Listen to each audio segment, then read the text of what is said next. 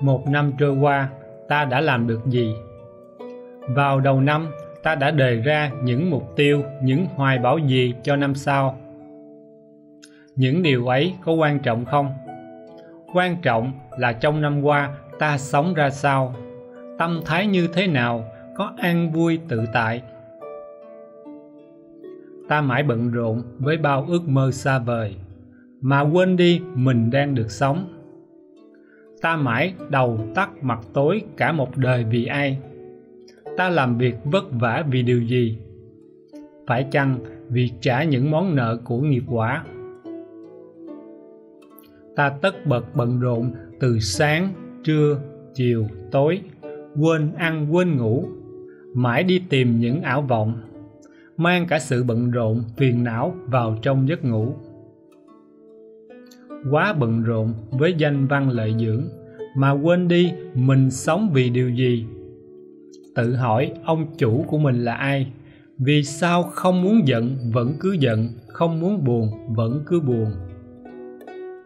Vì sao ta không quản được tâm trí này? Vì ta mê mờ. Một năm trôi qua, ta đã sống như thế nào? Có làm buồn lòng bao người thân bên cạnh? Ta có ngược đãi tâm thân mình bằng những sự bận rộn. Một đời đã luống qua, mãi sống trong bận rộn cả đời vì người, mà không một lần bận rộn vì mình. Không một lần ngồi xuống tĩnh tọa để tìm ông chủ của mình, tìm lại tự tánh. Cái tánh vốn có chẳng sinh chẳng diệt. Cái tánh bị chôn vùi bởi sự bận rộn ảo vọng có bao giờ ta tự hỏi, có phải ngày nào cũng có mặt trời? Thế vì sao có ngày sáng, có ngày tối, phải chăng do bị mây che khuất?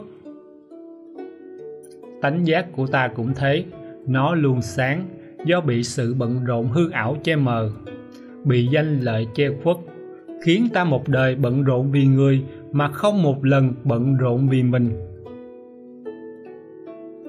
Chư vị hãy một lần vì mình mà bận rộn, buông xuống mọi vọng tưởng, tĩnh tọa thiền định, tìm lại phật tánh.